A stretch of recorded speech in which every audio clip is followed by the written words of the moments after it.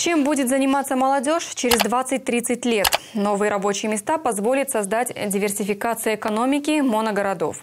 Аким области провел встречу со членами президентского кадрового резерва. В общем, обсудить удалось пять возможных направлений развития региона. Подробности расскажет Антон Александров. Молодежь должна видеть перспективу, говорит таким области, иначе люди задумываются о переезде в другой город. Как завлечь НИТ молодежь в предпринимательство и позволить им самореализоваться, рассказала участница конференции Стимертау. Там, к примеру, завлечь в сферу бизнеса пытаются выдачей грантов. Так за две недели набралось 93 безработных претендента, которые подали свои заявки и хотят организовать свое дело. Имея восьмилетний опыт работы с молодежью, хочется сказать, э, что молодежь на самом деле у нас сейчас крутая, яркая и креативная. Просто их надо уметь выслушать. И, возможно, взять на вооружение в последнее время такое модное веяние, как менторство.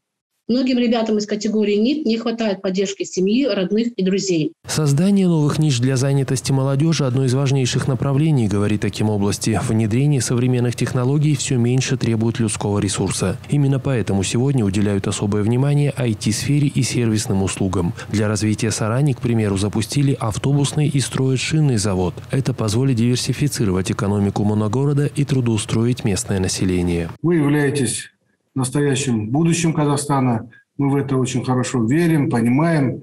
Поэтому я, как руководитель области, готов всемирно и практически поддерживать ваши начинания.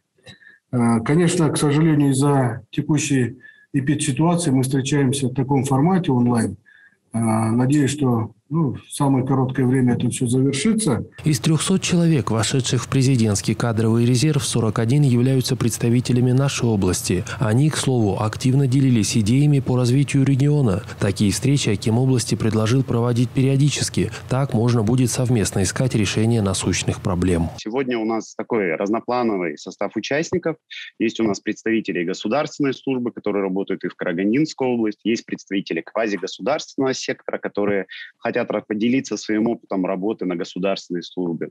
Есть коллеги, которые сейчас занимаются э, какими-то проблематиками и хотят вот из центра, из э, Нур-Султана привнести какие-то позитивные изменения и в область. И есть у нас коллеги, которые ушли в бизнес, возможно, но тем не менее имеют такую гражданскую направленность менять те или иные а, проблемы и ситуации к лучшему. Выявлять изменения на поверхности Земли позволяет спутниковый мониторинг. Проанализировав данные за несколько лет, можно понять интенсивность использования земель, ее увлажненность и какие культуры там произрастают. Между тем, радарная космическая съемка позволит получать данные при любых погодных условиях или даже пылевом загрязнении. Использовать это можно для мониторинга за недропользованием пользователями. Нанеся на карту участки разработки полезных ископаемых, можно отслеживать интенсивность работ или соблюдение охранных зон. Основная мысль такая, что После мониторинга мы выявляем факты и направляется сюда мониторинговая группа в составе нескольких человек, которые фиксируют. Э, кстати, вот именно вот методика мониторинга, она позволяет обойти вот этот мораторий. То есть мы не целевой проверкой занимаемся, а мы мониторим полностью ну, поверхность Земли. В общем, обсудить удалось пять возможных направлений развития региона. По итогам примерно полуторачасового общения решили разработать дорожную карту для совместного внедрения новых и полезных практик. Инициаторам это позволит реализовать свои идеи, а региону решить насущные вопросы.